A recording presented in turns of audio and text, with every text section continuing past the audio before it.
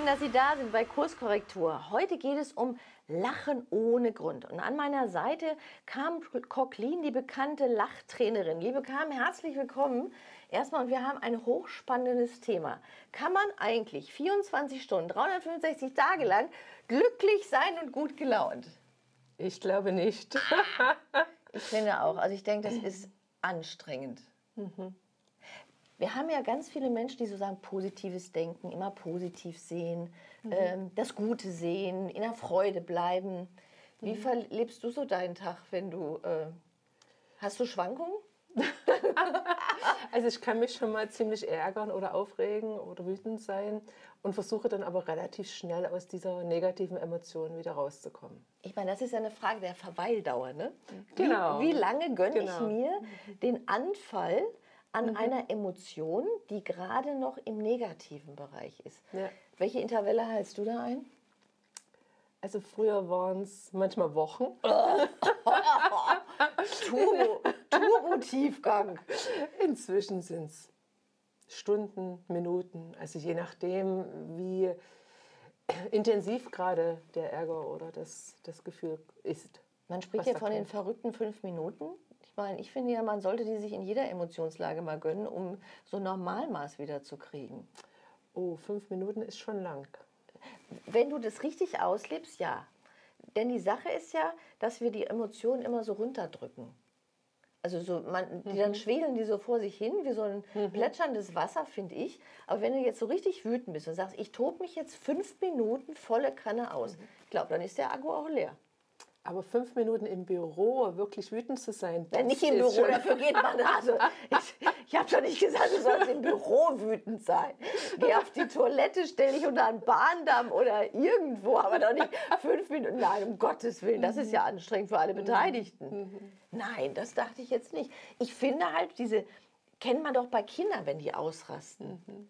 Da sagt man, das sind jetzt die tollen, dollen fünf Minuten. Was für sich bei deinen Enkeln?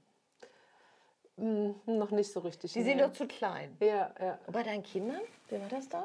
Hm, da hat man dafür gesorgt, dass die sich natürlich wieder ordentlich benehmen. Mhm. Was für eine Struktur, ne? Ja, ja.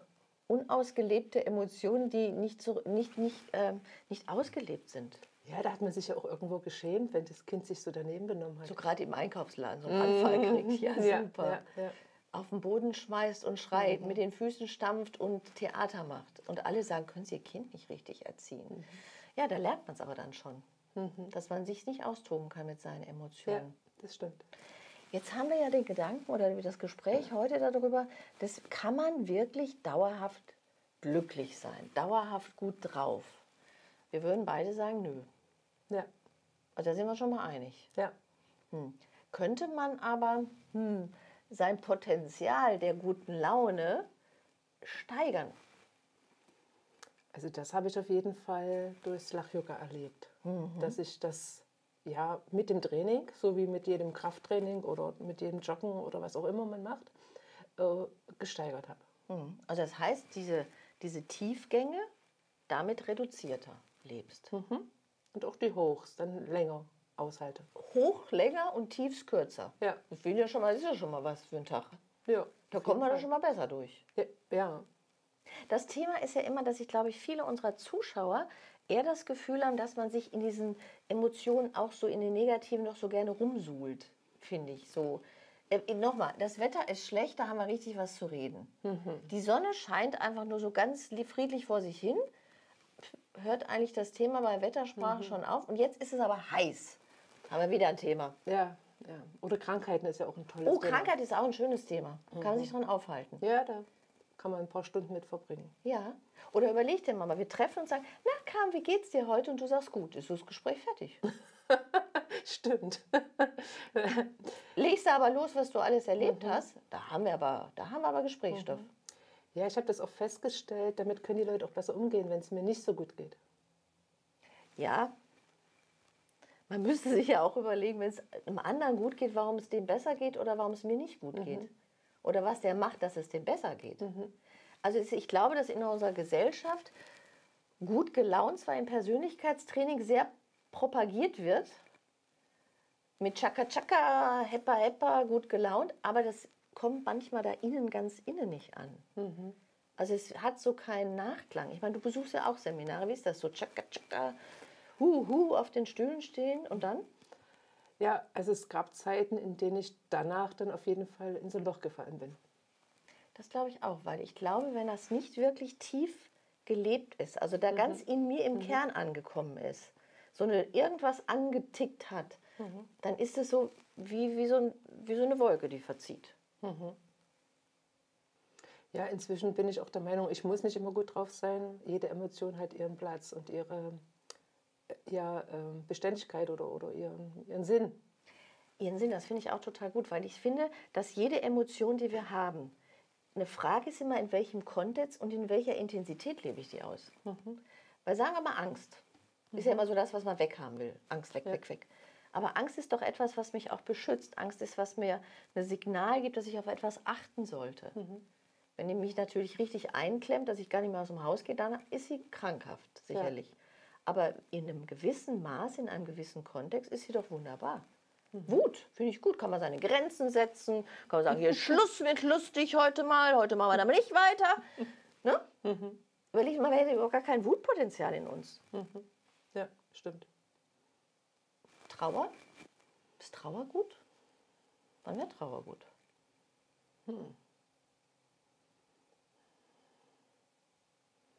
Naja, wenn was Trauriges vielleicht ist oder so, ne? Ja. Und ich auch das zulasse, dass ich Ja. jetzt, jetzt was, mich, ich vermisse, mir was fehlt, ich... Äh, Ja, auf jeden Fall. Und trotzdem glaube ich, wenn ich, trau wenn ich Traurigkeit, traurig sein kann, kann ich auch hilfreich sein. Weil dann kriege ich mit, wenn jemand anders traurig ist.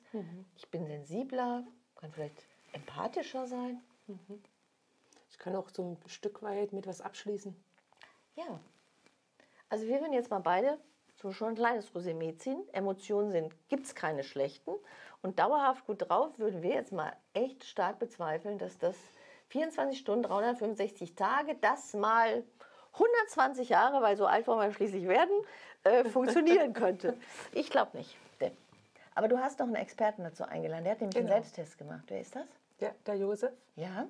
der hat einen Selbsttest gemacht, äh, um zu gucken, ob er sieben Tage lang glücklich sein kann. Guck mal, das, der hat noch niemals 120 Jahre festgelegt. Der hat nur sieben Tage. Der wollte nur sieben Tage schaffen. Okay, ähm, gut. Und du hast mit ihm ein Gespräch geführt schon? Oder du hast was bei ihm in, in einem Video? Äh, er hat ein Lachvideo von mir für dieses Video angefordert und hat es wohl Mhm. auch ausprobiert, das Lach-Yoga. Und ich bin gespannt, was er so für Erfahrungen hat, Ja. auch jetzt im Nachhinein. Ja, auch noch in der Nachwirkung jetzt einfach. Ne? Ja. Und zum anderen weißt du ja für dich, dass du deine Lachkurbelübungen oder was du auch immer an Übungen machst, dafür dienen, schnell deine Emotionen zu wechseln. Wann setzt du die ein? Ist das so Ja. ein Booster? Vor allen Dingen, sage ich mal, wenn ich wirklich äh, ganz schnell gut drauf sein möchte, Mhm. wenn ich irgendwie abliefern soll, wenn ich beim Kunden bin, wenn irgendwas funktionieren soll, dann äh, ist das so ein Booster. Dann machst du dir vorher so einen kleinen Kickdown. Aber Mhm. Lachübungen sind nicht etwas, die den Schmerz, die die Traurigkeit wegpusten sollen. Das, Das war vielleicht am Anfang so Mhm. ein Stück weit das, äh, was ich versucht habe, aber das funktioniert nicht, sondern es ist wirklich so ein Stück weit äh, eine Entscheidung in dem Moment, wenn ich es möchte und wenn ich es auch zulassen kann. Also man könnte sagen, man kann Lachübungen trainieren, um schneller abliefern zu können, hast du gesagt? Und zu sagen, so, hier kann ich jetzt mir nicht so ein langes Gesicht erlauben, Genau, den, ganz Ja? schnell den Zustand halt ändern. Um wieder Energie zu kriegen. Ja. Ich bin gespannt jetzt auf dein Interview mit dem lieben Josef. The Chairman heißt er nämlich, hat einen tollen YouTube-Kanal. Da kann man viel, ich habe da mal gestöbert, der hat ganz viele Experimente macht er. Von dem kann man was lernen und mal üben, was das so mit einem selber macht. Also ich finde seine Videos sehr interessant und ich freue mich jetzt auf euer Gespräch miteinander.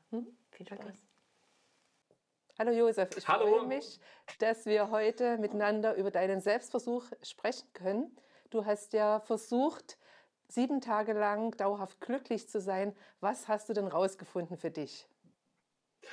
Dass das nicht funktioniert, ist, glaube ich, so mein finales Resümee gewesen. Also es ist ein wunderschöner Start und man ist wesentlich länger glücklich als sonst, aber dann kommt auch der entsprechend tiefe Fall. Ich hatte dir damals ein Lachvideo geschickt. Hast du das ausprobiert?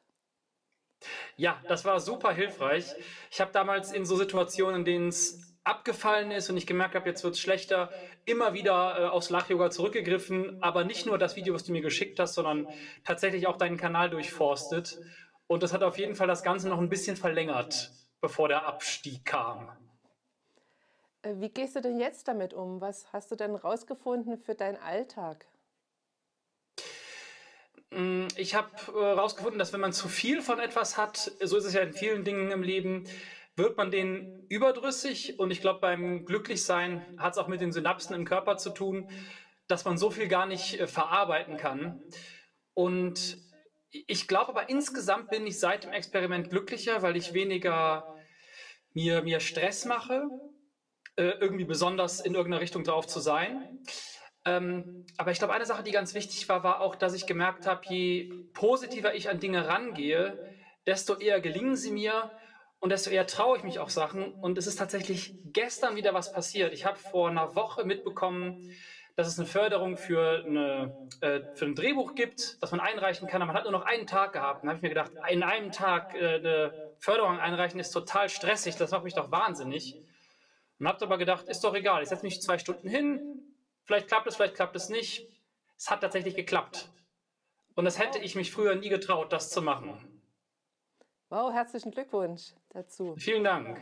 Du hast ja ganz viele äh, Sachen in diesen sieben Tagen ausprobiert. Was hat denn da noch so funktioniert und was hat vielleicht auch nicht funktioniert? Musik hat gut funktioniert, also Musik, die mir gute Laune macht, um mich irgendwie nach vorne zu bringen. Äh, gutes Essen hat funktioniert.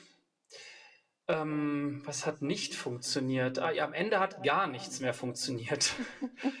Also irgendwann so ab dem, ich weiß gar nicht mehr, ob das der dritte Tag war, irgendwann konnte ich machen, was ich wollte. Ich war nur noch niedergeschlagen, traurig und gleichgültig. Wie bist du eigentlich auf dieses Experiment gekommen? Ich weiß gerade gar nicht mehr, was die initial auslösende Idee war. Ich habe letztes Jahr ein Experiment gemacht, in dem ich 14 Tage lang auf alle Bildschirme verzichtet habe und in der zweiten Woche dieses Experimentes auch auf alle anderen Reize, die es irgendwie, die es irgendwie gibt und Dinge, die mich ablenken können. Und bin damals auch ganz tief in so ein Loch gefallen und habe mich, glaube ich, danach gefragt, was ist denn, wenn man wirklich krampfhaft versucht, immer glücklich zu sein? Also wie lange hält man es aus? Wie lange kann man sich eigentlich ähm, oben halten? Und wie lange dauert es dann, wenn man gefallen ist, um wieder hochzukommen? Also lohnt sich das? Und was mich so interessieren würde, wie waren denn die Reaktionen äh, von den Leuten? Was haben sie dazu gesagt? Äh, was haben sie vielleicht auch für sich mitgenommen daraus aus deinem Selbstversuch? Du willst ja damit die Leute auch ein Stück weit motivieren, äh, das auszuprobieren, oder? Äh, das, oder auch nicht. Also in dem Fall war mein Fazit tatsächlich, es nicht zu empfehlen, es nicht nachzumachen in der Form, wie ich es mhm. gemacht habe ich glaube, spannend war für viele Zuschauer herauszufinden, wie stark Zucker das Glücksgefinden nach vorne bringen kann, aber wie sehr es auch das Glücksgefinden abschwächt, wenn man das halt wie eine Droge zu viel benutzt. Mhm. Ähm, und ich glaube, es hat viele dazu gebracht, dass sie vielleicht von mir auch mitgenommen haben, dass es oft helfen kann, den Fokus zu verschieben. Also Sachen nicht zu ernst, zu eng und zu stressig zu sehen, sondern sich auch mal ein bisschen zu entspannen und ja, sich vielleicht selbst nicht so ernst zu nehmen, so wie du das ja quasi auch propagierst. Mhm. Jetzt ist das Thema ja das große Thema drüber, Lachen ohne Grund. Was hältst du davon und wie ist so dein Empfinden äh, in deiner Umgebung? Was da, was wird darüber gedacht? Es ist ja was, was in unserer Gesellschaft nicht unbedingt so verbreitet ist. Das stimmt. Ich finde es immer ganz toll, wenn Leute so eine natürliche Freude haben und sich über so viel auch freuen können. Und wenn man das lernen könnte, wäre das eigentlich ideal. In meinem Freundeskreis ist Humor sehr breit gestreut. Das heißt, Leute sind über ganz andere Dinge glücklich, können über ganz andere Dinge lachen.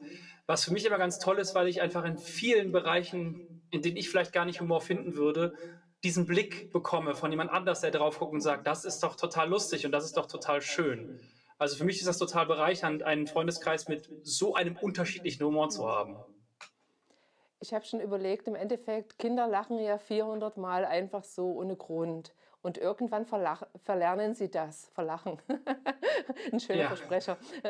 Und äh, wunderbar wäre es ja, wenn die Kinder das gar nicht mehr verlernen müssten, wenn sie gleich von Anfang an so ein Stück weit sich das mitnehmen in das Erwachsensein. Denn es ist ja wirklich so, dass wir irgendwann es verlernen müssen.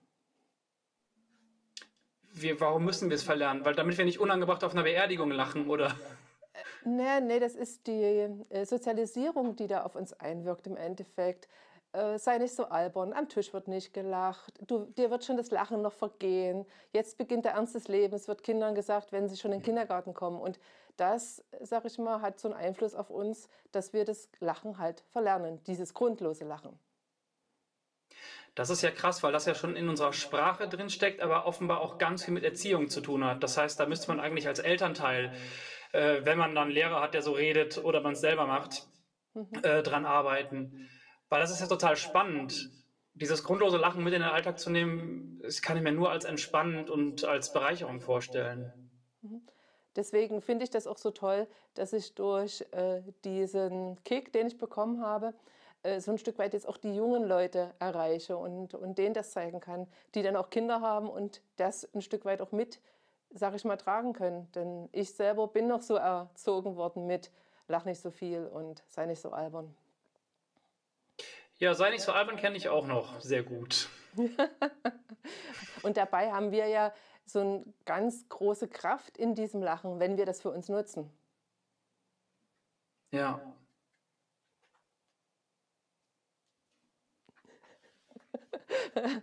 In welchen Situationen äh, kannst du es denn direkt für dich nutzen? Wo kannst du im Endeffekt diese Kraft, die das Lachen hat, dir holen? Also eine Sache, die ich, seit ich deinen Kanal kenne, angefangen habe, ich weiß nicht, ob es einen direkten Zusammenhang gibt, ist aber bei mir, was wenn was schief geht, habe ich angefangen zu lachen. Also es hat angefangen mit äh, Stolpern, sich selbst irgendwie äh, hinlegen blöd, den Fuß stoßen.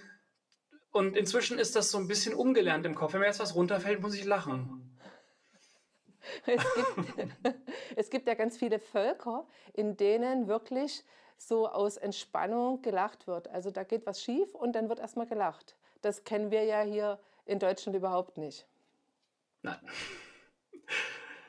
Das, stimmt. Ich finde das aber auch so, das ist so schön, in dem Moment, in dem äh, mir eigentlich was passiert, worüber ich mich sonst ärgere, äh, und dann lache, ist das sofort entschärft. Ich habe nicht mehr diesen blöden, jetzt ärgere ich mich erstmal eine halbe Stunde darüber, dass mir eine Tasse kaputt gegangen ist, sondern ich räume diese Tasse weg, schmeiß sie weg, lache drüber und dann habe ich es vergessen. Also es ist super. Mhm. Wir hatten ja vorhin das Thema mit den Emotionen und sie aushalten und ein Stück weit, wie viel gönnen wir uns davon? Gönnen wir uns fünf Minuten Wut? Wie hältst du das bei dir? Ähm, Wut muss ich lernen, auf jeden Fall. Da habe ich Nachholbedarf, weil Wut, ähm, da geht jeder anders mit um. Die einen sprühen es nach außen und dann geht es denen auch gut und es ist weg und die anderen nehmen es in sich auf und äh, sammeln es an. Ich sammle auch eher an bei Wut, deswegen klappt das noch nicht so gut. Aber bei den anderen Emotionen ähm, habe ich von zu Hause auch gelernt, dass Trauer okay ist, dass man als Mann auch weinen darf. Das sind ja alles Sachen, die vielleicht in deiner Generation auch noch anders gelehrt worden sind. Also da bin ich ganz froh, dass es das bei uns nicht als Stigma gab, Weinen und Trauer, dass das alles in Ordnung ist. Aber ja, Wut und Lachen, da finde ich, kann ich auf jeden Fall noch viel dazu lernen. Wie siehst du das in der Gesellschaft gerade? Wird viel gelacht, wird wenig gelacht? Was äh, hast du da so für einen Eindruck? Ich habe den Eindruck, die Leute sind sehr wütend. Also das ist das, was ich am stärksten wahrnehme. Wut und, und Aggression. Es kann natürlich auch mit den sozialen Medien äh, zu tun haben, weil ich da natürlich am meisten Gesellschaft mitbekomme jetzt äh, während Corona. Ähm, aber gelacht, ich, es wird, also vor allem im Filmbereich ist es auch so, es wird dann immer erzählt, wir brauchen viel mehr Comedy, die Leute wollen Comedy. Aber die Comedy, die dann produziert wird, führt, glaube ich, gar nicht zu diesem großen, befreienden Lachen. Es ist dann viel Schadenfreude und das ist ja auch nochmal was anderes. Mhm. Deswegen, ich weiß nicht, ich habe das Gefühl, im Moment ist eher so Wut ein sehr zentrales Gefühl in der Gesellschaft. Da habe ich zwei Impulse dazu. Einerseits nehmen wir uns natürlich dieses Zulächeln und Anlächeln und Anlachen weg durch die Masken. Also da mhm. geht ganz viel verloren äh, davon. Und das Zweite ist, ich bin so dankbar dafür, dieses äh, Lach-Yoga ist ja Lachen ohne Grund. Man braucht wirklich nichts im Außen und kann einfach so lachen ohne Schadenfreude, ohne dass was passiert, ohne dass man irgendeine Comedy braucht. Und das finde ich ja so wertvoll, weil man damit ein Stück weit ja, frei wird. Man kann lachen, egal was gerade im Außen ist. Die Maske hat mir aber nochmal gezeigt, tatsächlich, dass man noch dicker lachen muss, damit der andere es sieht. Also deswegen fand ich das gar nicht so schlimm, weil ich einfach gemerkt habe, dass ich viel bewusster Leuten in die Augen gucke, damit ich äh, transportieren kann. Ich lächle gerade. Ähm, also das habe ich gar nicht als so negativ wahrgenommen, aber ich verstehe natürlich, dass das erstmal ein Problem ist, dass so viel vom Gesicht nicht zu sehen ist. Und dieses freie Lachen, finde ich super, aber ich glaube, dass es auch was ist, was man noch lernen muss, dass Leute das nicht albern oder lächerlich oder peinlich finden, ohne Grund zu lachen. Mhm. Ja, das stimmt, ja. Dafür ich es, dafür zeige ich es und höre auch nicht auf damit. Sehr gut. Einfach das wirklich äh, weiterzutragen, weil ich das als eine sehr große Erleichterung finde. Ja, was würdest du denn gerne noch so nach deinem Selbstversuch den Zuschauern mitgeben? Was wäre so dein, deine Botschaft? Äh, einmal auf jeden Fall, dass all diese Glücklichsein und Dopamin-Push-Sachen natürlich nicht funktionieren, wenn man eine Depression hat. Also das muss ich immer nochmal dazu sagen, weil das ist ja einfach nochmal eine ganz andere Situation. Da kann ich gar nicht drüber sprechen. Aber wenn man jetzt nicht ähm, in der Depression gefangen ist, hilft es sehr, wirklich seinen Fokus zu verschieben und auch mal sich ein bisschen zurückzunehmen und nicht alles ganz so ernst zu nehmen im Leben. Also ob die Tasse jetzt kaputt ist oder man mal das Bein gebrochen hat, ist alles nicht schön, aber wir leben noch. Also manchmal hilft das, ein bisschen den Aspekt und die Perspektive zu verändern. Was ist dein nächster Selbstversuch? Äh, ich habe vier Wochen lang vier extrem verschiedene Kleidungsstile getragen und habe gesehen, wie ich mich darin fühle und wie meine Umwelt mich wahrnimmt. Mhm. Und darüber verrätst du wahrscheinlich noch nichts, was da ich kann verraten, ist. Ich kann verraten, dass ich eine Woche im Anzug rumgelaufen bin und eine Woche in so bunten Klamotten, dass ich mich am ersten Tag fast nicht auf die Straße getraut habe und dass das meinen ähm, meinen Kleiderschrank sehr verändert hat nachhaltig. Okay. Da bin ich ja schon sehr gespannt darauf, was da rauskommt. Dein Video über dieses äh, sieben Tage glücklich fand ich auf jeden Fall sehr wertvoll, sehr äh, gut auch produziert und auch du hast ja sehr viele, äh, na, sehr viele Experten zu Wort kommen lassen und das fand ich einfach sehr gut, dass man da ein Stück weit auch diesen ganzen, äh, die ganze Breite äh, gesehen hat, was da alles eine Rolle mitspielt. Ja, das versuche ich tatsächlich immer, auch um all die Bereiche mit abzudecken, die ich gar nicht abdecken kann. Deswegen hatte ich da zum Glück einen Neurologen, der uns ganz viel über das Gehirn erklärt hat, wie entsteht Glück im Kopf. Weil wenn ich mir das dann zurechtlese, gebe ich es vielleicht falsch wieder. Deswegen freue ich mich immer, wenn ich Experten habe. Und auch beim Lach-Yoga war das super, dass du das kurz erklärt hast für uns und den Leuten sehr kurz und einfach erklärt, dass wir sie selber zu Hause nachmachen können. Mhm. Ja, das versuche ich halt wirklich auch ganz kurz in meinen Videos äh, zu bringen. Wir haben ja so viele Videos im Netz, dass man da ein Stück weit erschlagen wird und die Lust, lange Videos anzugucken, ja auch nicht unbedingt so verbreitet ist. Deswegen versuche ich es immer ganz kurz auf den Punkt zu bringen und dann damit die Leute zu animieren, mehr zu lachen. Ich hoffe, das habe ich bei dir geschafft. Auf jeden Fall. Also ich bin nach wie vor auf Instagram immer sehr erfreut, wenn ich dein Gesicht sehe. Dankeschön. ja, dann vielen, vielen Dank, äh, dass du dein Wissen mit uns geteilt hast und dann wünsche ich dir auf jeden Fall viel Erfolg bei deinen weiteren Experimenten. Das war jetzt wieder ein sehr spannendes Interview. Jetzt habe ich ja schon mal, als erstes habe ich ja schon einen kleinen Witz gemacht in dieser Sendung.